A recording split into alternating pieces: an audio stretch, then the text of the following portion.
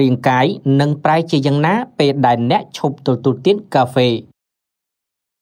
អ្នកផឹកកាហ្វេគ្រប់រូបមានបុគ្គលិកលក្ខណៈពីរមួយគឺមុនពេលពួកគាត់ផឹកកាហ្វេពីរគឺស្ទើរតែคล้ายខ្លួនជាមនុស្សម្នាក់ផ្សេងទៀតបន្ទាប់ពីបានទទួលទានប្រសិនបើអ្នកមានបញ្ហានេះអ្នកពិតជាយល់ច្បាស់ហើយថាតើសារជាតិកាហ្វេអ៊ីនអាចធ្វើឲ្យអ្នកញៀនយ៉ាងបានដូចម្តេចគ្រប់គ្នាទទួលស្គាល់ហើយថាការឈប់ទទួលទានកាហ្វេ គឺពិតជាពិបាកធ្វើឲ្យមនុស្សជាច្រើនតែវិលមករកភាពដើមវិញ បន្ទាប់ពីគេព្យាយាមមួយរយៈខាងក្រោមនឹងបង្ហាញថាតើរាងកាយរបស់យើងនឹងមានប្រតិកម្មយ៉ាងដូចម្តេចខ្លះនៅពេលកាត់បន្ថយការទទួលទានជាតិកាហ្វេអ៊ីនមកត្រឹម0 1កាន់តែពិបាកផ្ដោតអារម្មណ៍ទៅលើអ្វីដែលអ្នកកំពុងធ្វើ ការផឹកកាហ្វេធ្វើឲ្យមនុស្សមានការប្រុងប្រយ័ត្នខ្ពស់ដែលជួយបង្កើនសកម្មភាពខួរក្បាល និងបង្កើនសម្ពាធឈាមនេះមានន័យថានៅពេលដែលអ្នកឈប់ផឹកវា អ្នកនឹងប្រឈមមុខនឹងការលំបាកនៅពេលដែលអ្នកត្រូវការផ្ដោតអារម្មណ៍លើការងារឬសកម្មភាពសំខាន់ផ្សេងទៀតពីព្រោះខួរក្បាលរបស់អ្នកនឹងមិនត្រូវបានជំរុញតាមរបៀបដែលវាធ្លាប់បានធ្វើ2អ្នកអាចនឹងញ័រដៃ ស្ដាប់ទៅដូចជាធ្ងន់ធ្ងរបន្តិចប៉ុន្តែវាមិនមែនជាអ្វីដែលគួរព្រួយបារម្ភនោះទេជាតិកាហ្វេអ៊ីនគឺជាប្រភពរំញោចដ៏មានឥទ្ធិពលសម្រាប់ប្រព័ន្ធសរសៃប្រសាទនៅពេលដែលអ្នកឈប់ប្រើវា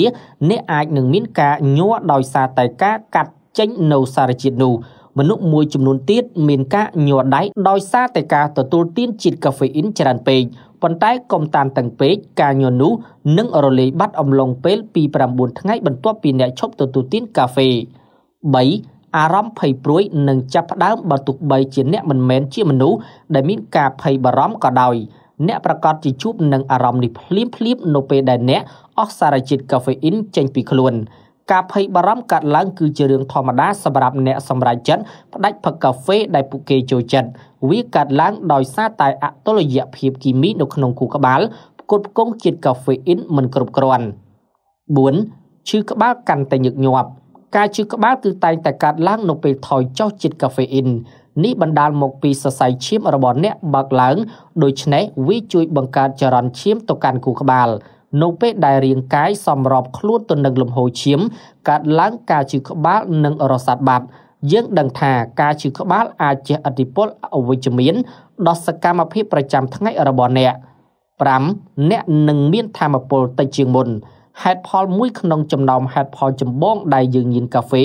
គឺដោយសារតែការជំរុញធម៌ពលដែលវាផ្ដល់ឲ្យយើងញៀន វាធ្វើឲ្យអ្នកទទួលទានមានធម៌ពលជាមធ្យម5ម៉ោងប៉ុណ្ណោះដែលជាហេតុធ្វើឲ្យមនុស្សភាគច្រើនផឹកកាហ្វេច្រើនជាង1កែវជារៀងរាល់ថ្ងៃដោយសង្ឃឹមថាខ្លួននឹងមានធម៌ពលនិងផ្ដោតអារម្មណ៍បានពេញមួយថ្ងៃទោះជាយ៉ាងណាក៏ដោយនេះនឹងជះឥទ្ធិពលផ្ទុយផ្សេងវិញទៀតនៅពេលអ្នកឈប់ផឹកកាហ្វេអ្នកញៀនកាហ្វេអ៊ីនភាគច្រើនអស់កម្លាំងភ្លាមៗបន្ទាប់ពីពួកគេចាប់ផ្ដើមអស់ជាតិកាហ្វេអ៊ីន។